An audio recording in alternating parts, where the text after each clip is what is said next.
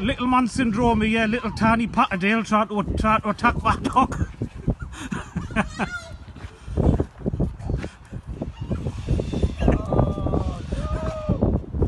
little man syndrome, eh?